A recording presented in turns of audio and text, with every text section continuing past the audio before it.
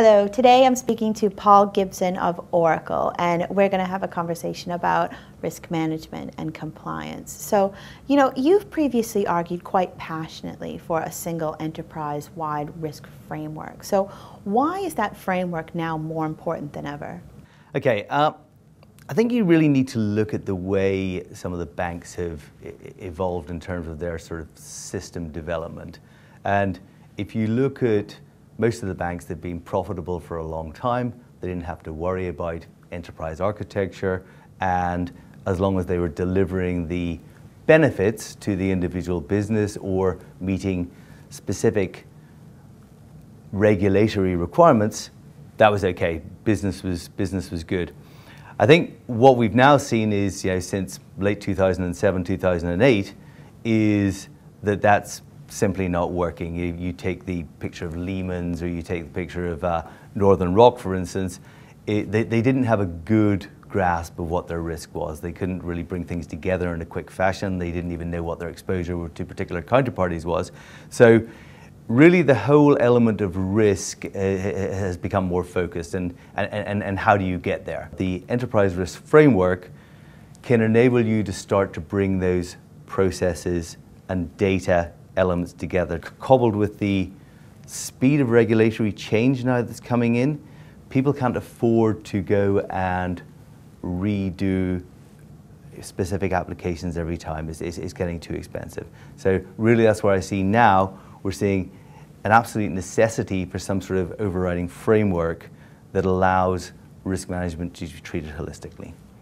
So when you talk about the next level of enterprise risk intelligence, you know, are you talking about wholesale system replacement?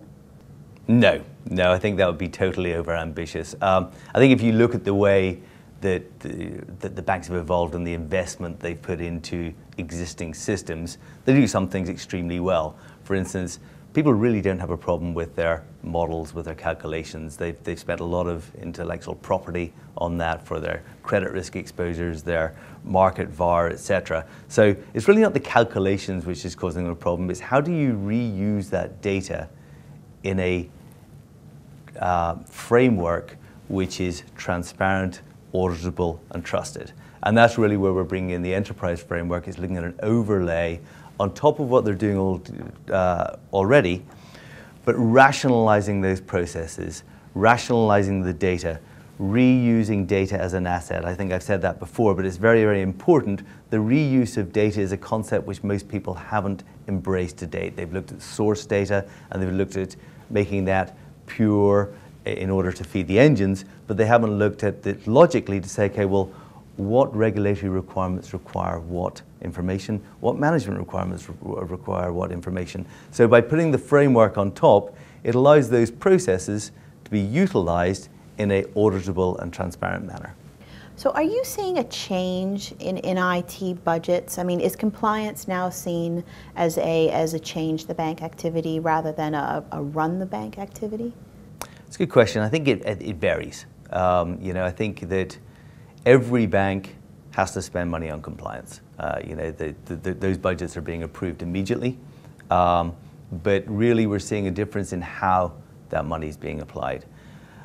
A lot of the banks, an increasing number of the banks, are taking it towards a change the bank requirement, and I think really that's largely driven by the fact that the tactical approach is becoming just too expensive. The number of changes that are taking place within the bank together with the fact that more and more data like liquidity information, credit information and stress testing, etc., are, are forcing data to come together means that a new approach needs to be taken. So we are seeing certain banks, the less enlightened ones, still sticking to the tactical uh, approach.